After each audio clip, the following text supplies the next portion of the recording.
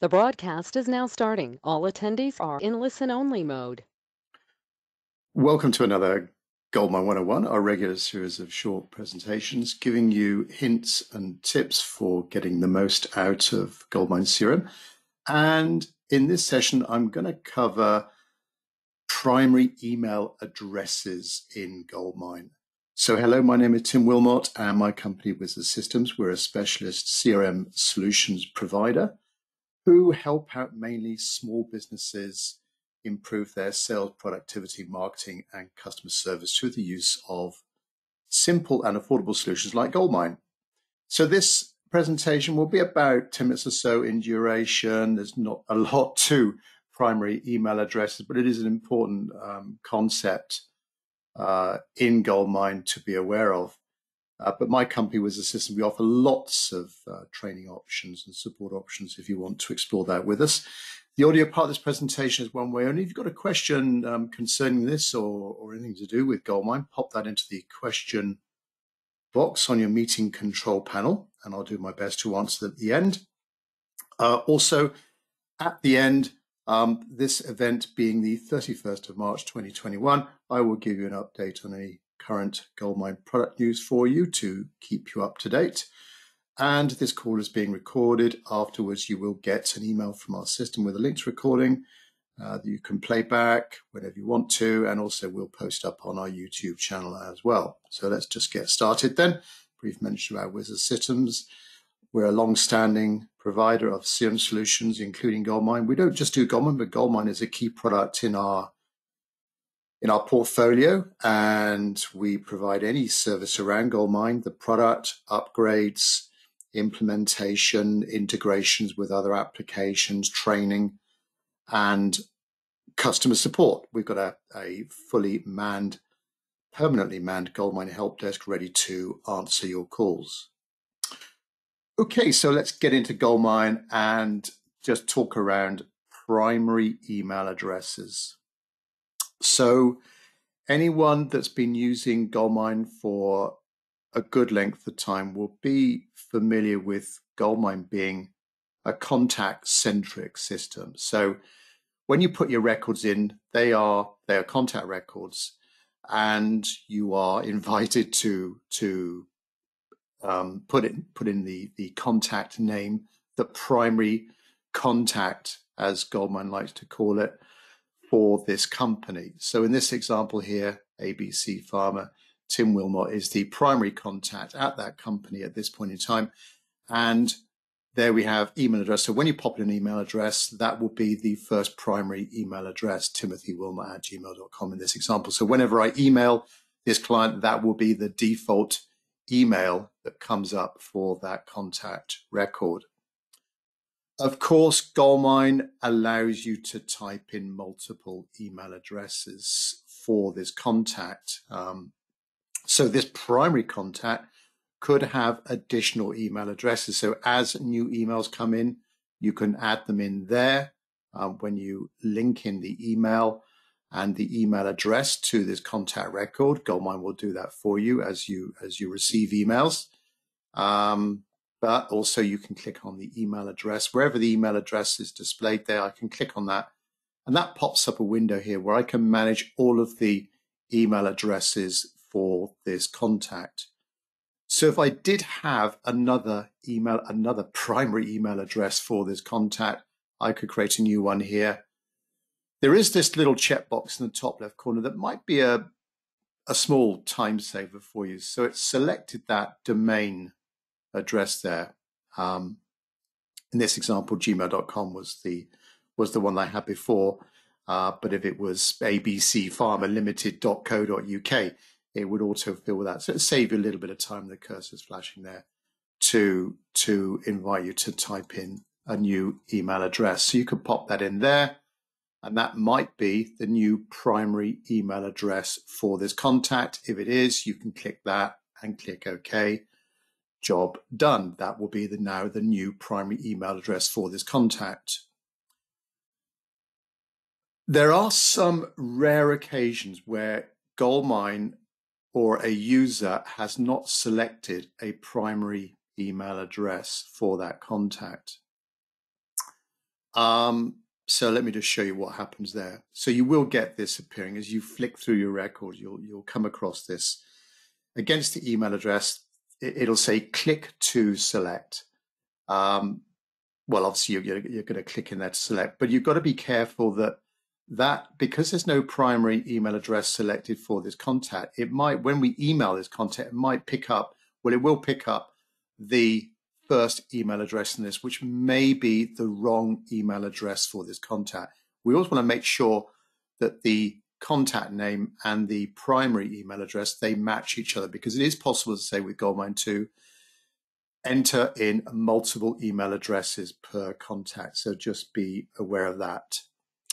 So having that primary email address um, is very important to keep that up to date and, and also lots of other operations in Goldmine will will be selecting this primary email address. So there is when you create email templates, when you create reports in Goldmine, when you create a Word template or Word form or something in Excel, and you want to um, insert, auto-populate the form or template, the, the document with the with the primary email address, there is a macro. You, there, there is a macro use for this. It's called ampersand email address, all one word. That will pick up this primary email address. So another reason for making sure that's correct. If you're going to be doing an export from Goldmine, if you're going to be doing any other reporting, that will pick up that primary email address. So just be just just be vigilant that as you flick through your records, making sure that that is the correct email address for the primary contact on your record. Now, those um, active Goldmine users out there, you'll be familiar with with additional contacts in gold Goldmine. So you've got primary contacts, the main the main contact for this contact record uh, or organization, and then you have additional contacts. And when you when you have these additional contacts, when you do the swap with primary, um, you actually swap the additional contact for the primary contact if for any reason the primary contact has left or there's been a, a change of personnel or, or promotion or whatever. Um, you can move these, you can swap these um, these contacts around. That will take, in this example, it would take Mary, it would take Mary Brown's email address here Mary Brown will be the primary contact, and Mary Brown's email address will be the primary contact. That all works really well with Goldmine, so you don't need to worry about anything happening there. Uh, it is possible to have, so it is possible to have multiple email addresses in the Goldmine system per contact record, but with your additional contacts, there is only one email address associated with that. So just touching on additional email addresses a little bit. Um, as you get new email addresses coming in, um, and for your for your um, additional additional contacts, so you get a new email address coming in. If you want to associate that with one of your additional contacts, you can click on the drop down list there, select Mary Brown, and Mary Brown will now have the Amazon um, email address in this example. So there you are, uh, a quick run through of primary email addresses. Very, very important in Goldmine. Um, the, way that Goldmine works with the primary contact and the additional contacts. Just a few things to be aware of there to keep things up to date for you. So that when you do any mailings from Goldmine, your day-to-day ad hoc mailings, reporting, creating templates, you are going to get the right email address as you expect to uh, go into that form or report. Right, so uh, as we normally do on sessions like this, if you've got any questions around this feature, pop that into the questions section on your meeting control panel. I think there's only one here this morning from, Seb well, actually there's a couple. Uh, Sebastian, uh, will Goldmine allow duplicate email addresses? We have occasions where there are email addresses like info at, sales at, etc. Yes, we've been asked this quite a few times before. Uh, Goldmine, like many other CRM systems, will not allow duplicate email addresses because that's deemed as a unique thing for that contact. again, Goldmine being a contact centric system. But there is a workaround to that. We do have, um, there is a, a, little option, just takes a few seconds to implement to allow duplicate email addresses. We'll, we'll, it's, it's something we don't normally advise because you can get into issues where emails coming in and you've got multiple, because, because incoming emails want to find an email address to link it to. If you've got multiple contact records with info at against them, when a new email comes in, it's going to select the first info at it comes to. So it may be linked to, in your eyes, the wrong, in inverted commas, the wrong contact record. Goldmine has, has done what you what you've asked it to do. It's linked it to info app, but if you've got a, a another second or third info address lurking in the database somewhere further down the sequence of email addresses, well, Goldmine just finds the first one, plonks it against that one, and it won't be visible against the other one. So just be aware of that. So yes, it can do it, and we will email you um, details of that. Uh, yeah, another question from Sebastian. Can you export additional and primary email addresses together? Yes, you can. We've got a little dashboard uh, which we can share with you to do that.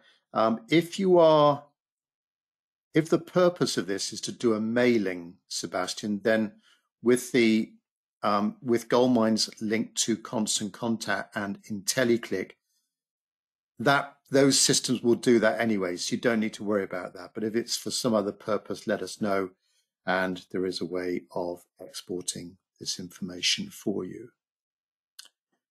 Right, don't think there's any more questions coming through. Just to keep up to date with latest news.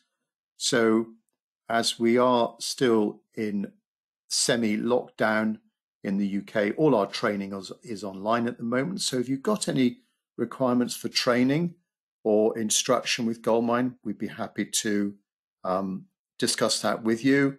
And we will set up the call arrangements for you and we can record the session as well. So please let us know if you've got any training requirements.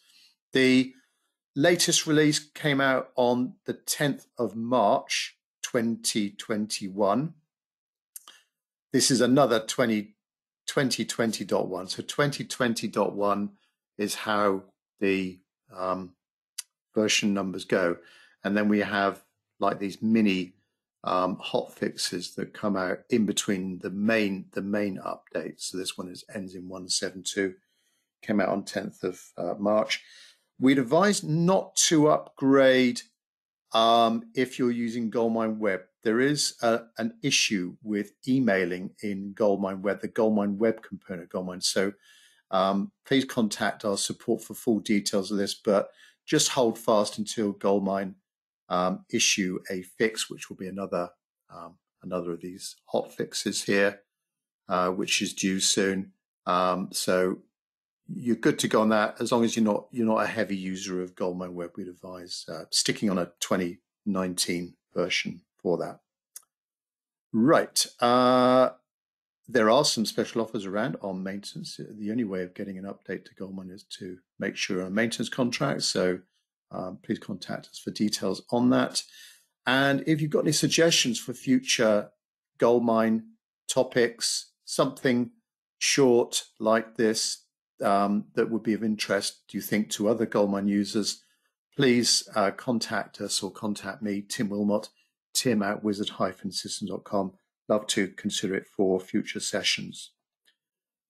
So that's the end of our session. Um, the the um, covering primary email addresses and a little bit on additional uh, email addresses there in Goldmine.